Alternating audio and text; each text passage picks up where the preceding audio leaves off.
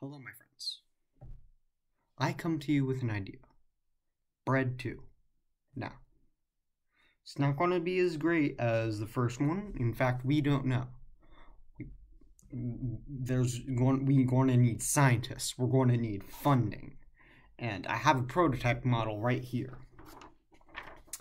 As you can see, it's triangular. Um so yeah, uh, we're going to make Bread 2 a fruit. Yeah, that's right. No more replanting. It's it's going to just pick it off the tree or bush, whatever we're going to feel like it. Uh, it's also going to have a shell, trying to branch off from the original uh, bread to have something more unique. Now, inside the shell is going to be like, it's going to taste like compressed wet bread.